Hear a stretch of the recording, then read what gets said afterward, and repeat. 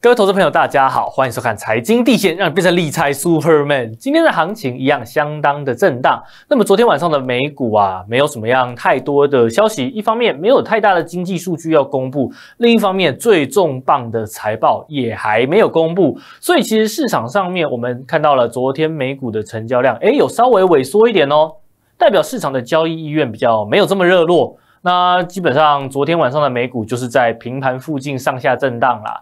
那么我们看到了今天的台股一样非常的精彩嘛。早上的时候先开，先往下走跌，后来拉上来，感觉又要没事了。到了我们录影的这个时间点，哎，好像又开始往下走了。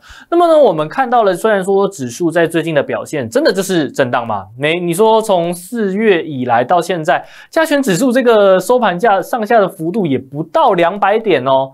我们已经过了半个月的时间，它的收盘价的上下点这个区间没有超过两百点，所以其实整个上市的加权指数，我我们单纯就形态来看的话，就像是一个一滩死水。我们等一下用 K 线图来看的话，大家会发现这个行情跟二零二二年很不一样，所以呢，会有一部分的投资朋友会不太习惯，因为二零二二年的行情真的是太干脆了。哎，要上就上，要下就下，不像今年。你看，从二月我们这样子农历年回来以后，一路盘，一路盘，一路盘。虽然整体的这个趋势是缓步垫高啦，可是呢，你说这个垫高也没有垫高到哪里啊？回来以后是一万五千五百点，哎，那我们有看到一万六千点了吗？也还没。所以其实这个狭幅的震荡，呃，真的是蛮磨人的。所以这个时候我们在做交易就必须要更有耐心。好吗？所以，我们今天的节目就我来跟大家聊一些关于我们最近的股票的看法，以及我们对于行情的观察。然后呢，在最近，因为很多的股票已经涨一段了嘛，但是重点是还有什么能够去做留意，以及我们到底要怎么样去挑出那些比较容易被低估的股票。我们今天教一点心态上面的东西。那么，在今天的节目一开始，一样邀请大家帮我们的节目点个赞。好吧，你的赞真的对我们是非常大的鼓励啦。那么，如果投资朋友有任何想法的话，也欢迎大家在影片的下方留言。那我们就是可以大家互相交流一下嘛，分享一下。那如果在交易上面有想要咨询的话，也欢迎大家拨打影片下方的电话，团队伙伴都会第一时间来帮大家做服务。那么，我们今天的主题，今天呐，基本上整个节目都要来跟大家哎聊股票。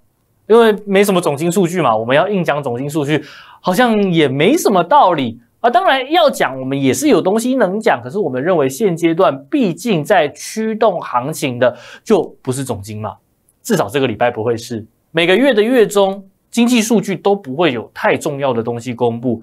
你说 CPI 吗？诶，以前大家也不太看 CPI 嘛，以前大家比较在意的是在月底会公布的 PCE，那么月初还会公布非农。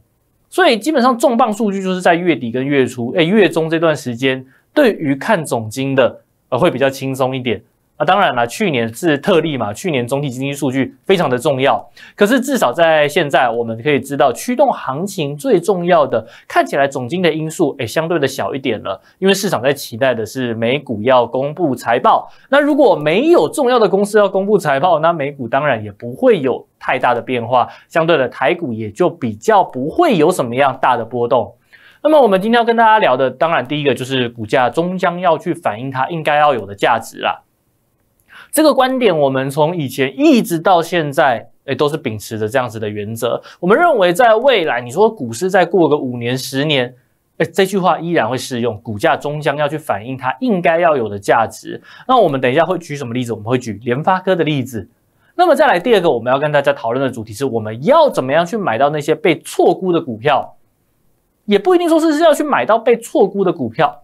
所谓的错估，就是当它今天的价值跟它现在的价格偏离了，偏离了，这个叫做错估嘛。比如说台积电，它的价值可能是六百块钱，那它现在的股价是五百块，我们就会说它被低估了。那如果今天说联发科它的价值只有六百二十块，而它的股价是七百块钱，我们就会说它被高估了。所以呢，在市场上面，我们真正要去赚的是什么东西？我们要去赚的就是这样子被错估的股票。如果最理想的状态，我们当然要去放空那些被高估的股票，去做多那些被低估的股票。长期来看的话，都能获得不错的报酬率。诶，可是呢，有一个问题是什么？难道被低估的股票就一定会涨吗？被高估的股票就一定会跌吗？诶，这个答案当然是否定的。诶，不一定哦。被高估的股票可能可以持续的被高估、更高估；被低估的股票也能够持续的被低估，甚至还能更低估。所以在市场里面就是这么的有趣。因此，我们必须要去掌握什么东西。第一个，你要了解到什么叫做价值嘛？你要了解价值，你就要透过产业研究、透过个股的研究。那另一方面，我们也要了解市场的情绪。到底市场的情绪现在是比较兴奋一点的，是比较贪婪一点的，还是比较恐慌一点的？那这些种种的因素互相搭配起来以后呢，就会看到我们第一个股价的价值嘛，高低估我们可以判断出来。第二个呢是到底这些被错估的股票在未来有没有机会回归到均值？所以呢，我们认为今天这个节目上面的话，会有比较多心态上面的分享，以及我们过去一些经验的分享。那我们也希望这些的分享可以来帮大家带来一点交易上面的灵感。先回顾昨天晚上的美股走法，昨天晚上的美股就说了是在平盘附近上下震荡，没有什么好讲的啦。当然在最后的时候是往上收高，可是这个收高的幅度也不算是太多，大底上面来讲也是符合我们之前在三月底讲的指数就是震荡。好不好？不论是美股、国际股市还是台股，都是呈现一个震荡的格局。到现在来看，都是这个样子。那么另一方面，我们回归到台股来看的话呢，大家会发现我们黄色框框这个地方，这张 K 线图是从二零二一年的八月开始一路画到现在的。那么在中间这段就是二零二二年嘛，大家不想要回顾、不想要回想的二零二二年，对很多人来讲很痛苦。哎，当然是对我们来讲，二零二二年我们取得了一个还不错的成绩。那么大家会发现，二零二二年的行情。有一个特性，或者是有个特征，什么特征？非常的干净，非常的利落。什么叫干净？什么叫利落？你要上就上，要下就下，它没有在跟你拖泥带水的哦。那就会发现每一次这个顶啊，每次这个底啊，有没有这个底？都是这样子一个 V 型，诶，一个 V 型。当然，我们如果在当下来去判断呢，它不会是一个 V 转，它其实在那个高点跟低点都还是震荡了一段时间。可是你今天把这个 K 线图缩小来看的话，会发现其实这个地方，哎，高低点都蛮明确的。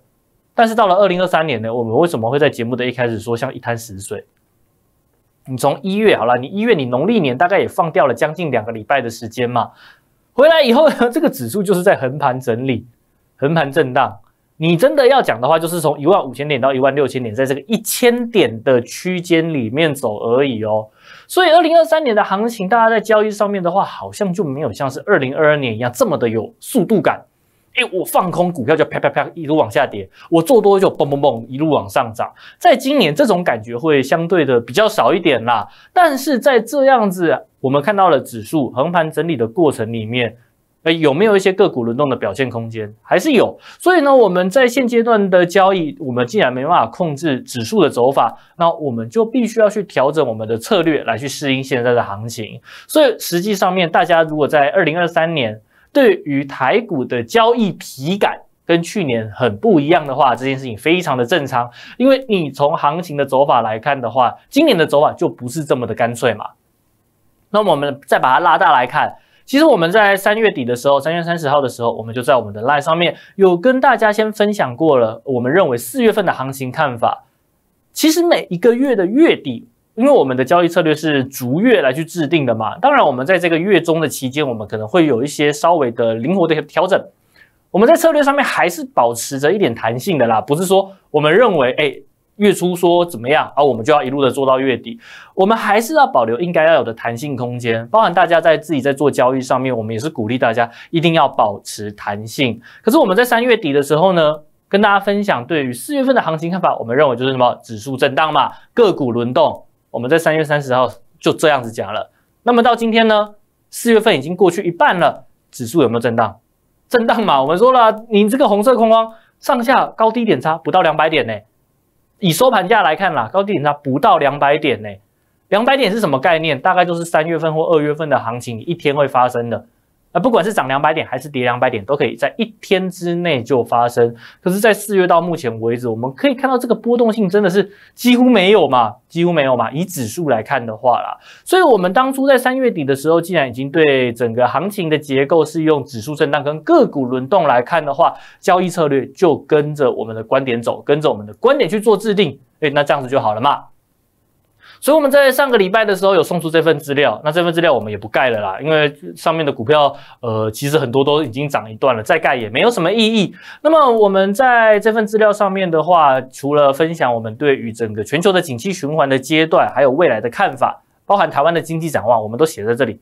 满满的三页资料啊，字很小啦。那有拿到这份资料的投资朋友，应该都能感受到我们团队的用心。因为其实我们就是把我们研究到的，不论是数据以及对于未来的行情判断，都写在上面。三页啦，满满的资料啦。那当然，有些投资朋友觉得啊，看那么多字好烦哦。老师，你可不可以告诉我说，有哪些股票值得留意？有啊，我们第三页不就放了这个吗？四十档股票。来，我们来把这个绩效做一下回顾。四十档股票全部都在这里，那我们也全部都打开来给大家看一下。我们就用当时我们送出资料当天的收盘价跟现在的最新价来去做计算。这四十档股票的平均报酬率是七点四 percent，那么胜率呢高达八十三 percent。你设飞镖啦，你设五只，你会有四只是赚钱的啦。那平均的话代表什么意思？代表如果你这四十只每只都给他，哎，买，例如说买个一万块。就买都买一万块，你的平均报酬是七点四 percent，那么最大的报酬嘞，四十七点三四 percent，谁？马桶概念股一八一零的合成，这张股票会成为我们的 number one。说实话，我们团队也是蛮意外的啦，我们也没有想到一个马桶概念股可以在短短的四个交易日里面亮出四根涨停板嘛。所以，我们从上礼拜一收盘送资料到现在，哎，刚好就是过了五个交易日。而这五个交易日呢，我们可以看到合成的涨幅来到了四七点三四 percent。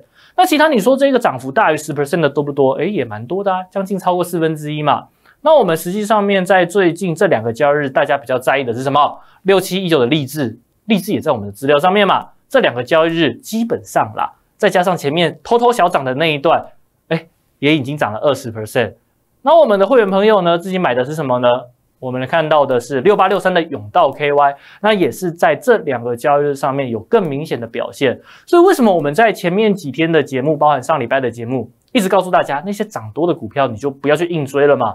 那追了也不安心。那些在低档的股票才是你必须要去留意的。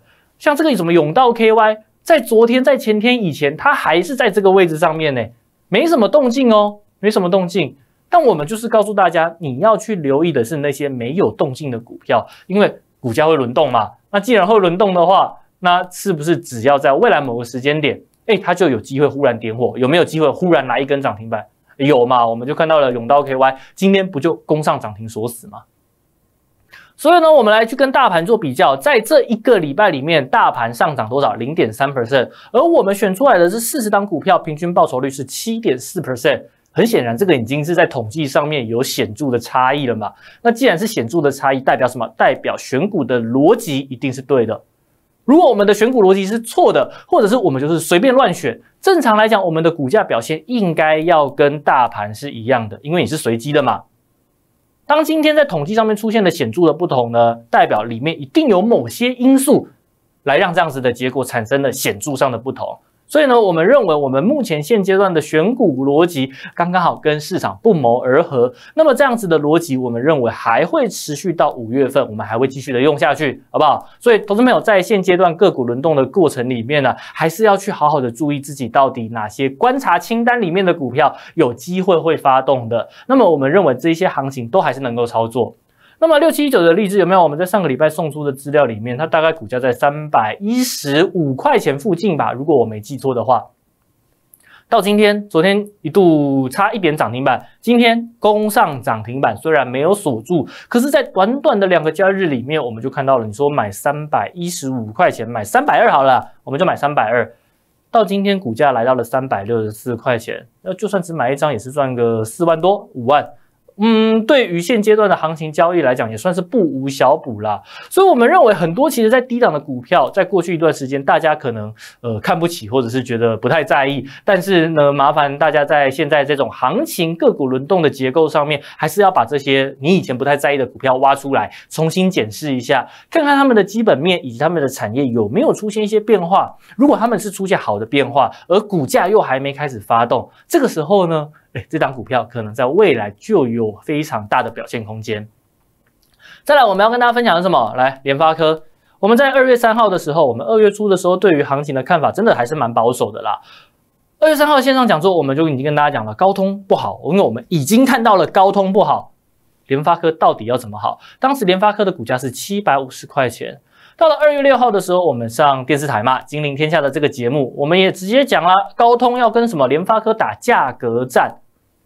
我们也说了，联发科的谷底是一季延一季啊。当然，市场的乐观预期那件事情，我们等一下再来谈。但我们就观察产业的这样子的状况来讲的话，状况就是不好嘛。然后呢？到了什么时候？三月底，哇塞，那一天联发科公布要发股利，发七十六块钱，七十六块的股利，当天股价直接一度攻到差点涨停板哦。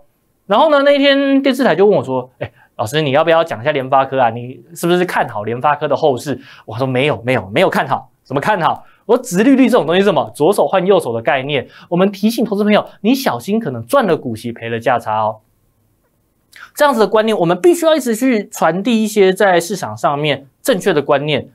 有些投资朋友在股市里面可能已经待了十年，待了二十年，可是还是有一些似是而非的想法啦，包括像是哎，股利要越高越好。但是我们在这一个三月一号的电视节目上面，我们跟大家分享了，哎，股利不是越高越好。那那至于大家有兴趣的话，可以去看一下三月一号的节目了。但是我们在这个节目上面的话，我们也提到联发科发了这么高的股利，但重点是要填息啊。那实际上面我们回归到了它的基本面来看的话，状况就是不好嘛，状况就是不好嘛。所以为什么我们会在二月初的时候，我们就说我们看到高通不好，联发科也会不好？因为当时我们就已经发现到了联发科在台积电的投片量早就已经在掉了，二月初的时候就知道了。那你说股价什么时候裂开？昨天裂开，四月中的时候，这样子的利空新闻才正式发酵。那你说在这一段，为什么那个时候你说殖利率涨上去啊，或者是前面这一段，哎，高档盘整，我们一直告诉大家，哎，你可以找华丽转身，你要华丽转身，殖利率它终究只是一个题材，你发的股利再多，你也没有办法让你的晶片卖的比较多嘛。哎，这些话我们是不是前面都有告诉过大家？那有人会说没关系啊，我就等到股价呃开始出现转弱的时候，我再卖就好了。转弱什么时候？昨天一天直接跌半根跌停板，然后呢，股价直接回到了低档的位置，这个闪得掉吗？那闪不掉嘛。到今天联发科是不是还在跌？联发科到今天已经跌破七百块钱了。所以其实我们观察的产业的状况是完全没有问题的哦。而且我们在之前节目上面跟大家分享的关于联发科的它的投片量。它的开发进度，它面对到的竞争，这些讲法都被印证是对的。那我不太确定投资朋友喜欢什么东西啦。看到了联发科因为殖利率的题材往上涨了一根涨停板，你期待听到什么？就是我们要告诉大家，联发科赞赞赞，联发科基本面没有问题，这是大家想要听到的吗？还是大家其实想要听到的是什么？而我们真的去做了产业的实地访查，我们去访问了在产业里面的从业人员，得到了这些资讯，然后来节目上面跟大家分享。我我自己是比较喜欢后面这一个啦，就是我们要讲的是真话嘛，所以我们没有因为股价往上涨，我们就说它好。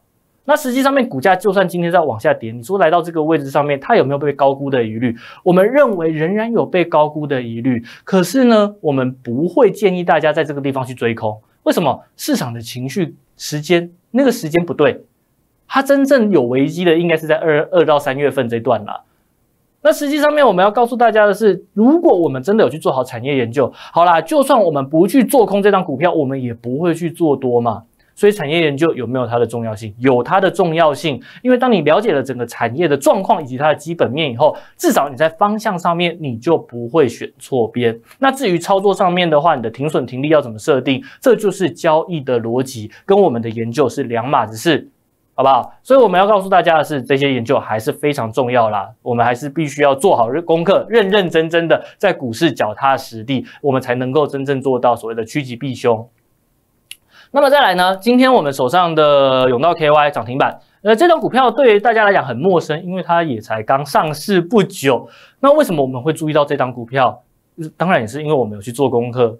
哦做功课要做什么？我们要把别人没在看的东西拿来看啊！永道 KY，大家不要觉得它是什么阿里不达的股票哦。永道 KY 它是 RFID 无线视频标，哎，无线这个射频标签的龙头厂哦，它是全球的龙头之一哦。那大家会说什么叫做 RFID 的无线识别标签？哎，大家有没有去 Uniqlo 买过衣服？哎，现在 Uniqlo 很先进哎，你把衣服放到那个篮子里面，它在结账的时候不用一件一件拿出来刷嘛。大家有没有发现，它已经没有一件一件拿出来刷了，它是把整个篮子放到一个铁片上面，一个感应片上面，啪，然后嘞，它就会自动感应说你买了什么东西。这个东西就是透过 RFID 它的实际应用的案例了。好，但无论如何，这一档股票在前一阵子我们是在一百九十一点五附近买进的，那今天股价攻上涨停板，来到了两百二十块钱。那实际上面也是大概是上礼拜的事情了。当时一百九十一点五，你如果把它拿去日 K 来看的话，它大概就是一个波段的相对低点。我们也告诉过大家，要趁着震荡来布局嘛，你不要去追那种已经喷出去的股票，那个交易的逻辑是不一样的。那我们能买低档，能抱的比较安心，哎，我们当然是选这种股票来做。所以啊，我们既然知道了 RFID 在未来的一几年里面，它的 CAGR 年复合成长率都是维持比较高的。那代表这间公司这个产业它的基本面是比较稳健的。我们真的要去操作的话，当然会往这个方向去走嘛，因为股价还没有表现，还在低档。所以，我们实际上面带会员朋友的操作，以及我们在节目上面分享的观点，都是相当一致的，都是相当一致的。我们不会说，哎，我对我们要买低档啊，或者是我们要干嘛干嘛之类的。结果，我们实际上面的操作都是追那些什么雷虎啊，然后什么宝盛光学都在天上飞的股票。那种股票买了以后，我们真的也是买的不是那么的安心啦。我们在带会员朋友的操作，呃，最大的原则当然是衷心的希望能够帮投资朋友赚到钱。那我们不能让投资朋友冒太多的风险呐。我们有一个原则是什么？就是我们今天带会员朋友买的股票，我们自己也敢买啊。当然我们自己不能买嘛，只是我们在这一个心态上面一定是这个样子的。我们如果自己不敢做的事情，我们怎么能够叫会员朋友去做呢？我们怎么能够把这样的资讯分享给投资朋友呢？所以，我们认认真真的去做好研究，股价终究会反映它应该要有的价值。另外呢，我们在上礼拜还布局了哪一张股票？六八零六深威能源。深威能源呢，大家去看的话，在上个礼拜有资金流入，哎，所以呢，股价开始发动了。那最近很多的股票呢，可能涨个一天，涨个两天以后，他们会在高档盘整一段时间。我们就在趁着这个盘整震动的阶段，我们就在一百零七元附近，哎，去做切入，去做买进。那么到今天这两个交易日，其实深威能源的表现也都是相当不错。为什么会去买它？因为我们知道它在 Q2 的时候，工程营收认列的速度会加快。所以这些东西你必须要去透过研究，你必须要真的有去实地的去看过这些公司他们到底在做什么，以及去研究他们财报里面有没有哪些地方出现了不一样的变化，有没有哪些端倪。当我们今天功课做的够多，它不代表我们百分之百会获利，可是至少长期来看的话，它能让你做出更多正确的决策。那错误的决策怎么办啊？当然要改嘛，我们就去做调整嘛。没有人可以百分之百对。当今天我们发现这个看法。哎，不对了，需要调整的，我们就第一时间来去做修正。所以啊，这些股票我们认为在接下来一段时间上方应该还有一些空间啦，但大家不要自己去乱买，好不好？这个操作上面是需要非常细腻的观察。那如果你盘中没有办法去及时的观察这些股价的话，那我们还是从一些比较低档的股票去做挑选，这样子的风险才会比较低一点。那么最后的话呢，我们在昨天有跟大家分享过的三四一九的华域嘛，我们说了，它在昨天是在干嘛？一个区间震荡的格局里面，虽然昨天有试着想要往上攻击，想要往上突破区间，可是什么？哎，没有成功。那么退守完回来以后，我们看到了今天的股价逆势的往上涨，才刚刚突破区间。哎，这张股票呢，我认为就是大家可以去做留意的。在接下来一段时间，我们还会来帮大家找出呃还在低档的股票啦，还在低档的产业。虽然这些产业是越来越少。好啦，像是什么 PMIC，你立志也已经喷出去了。但是还真的有一些产业仍然是没有发动的，而这些产业里面又有哪些概念股是特别值得注意的？这些资讯我们会分享在我们的群组里面，上面是我们的 Line，下面是我们的 Telegram，都欢迎大家加入，里面的资讯都是免费的。那我们团队也会来持续帮大家追踪最新的财经资讯，还有继续帮大家解读总体经济数据背后的秘密。那么在最后，如果大家喜欢我们的影片，也千万不要忘记帮我们点一个赞，你的赞就是对我们最大的鼓励。那我们今天的分析就到这边，大家拜拜。你想赚钱吗？订阅理财周刊频道，十八位专家提供最快最多样的看法，从每天早上十点半到晚上十点，每三十分钟就有一档最新影音上架。你还在等什么？下个富豪就是你。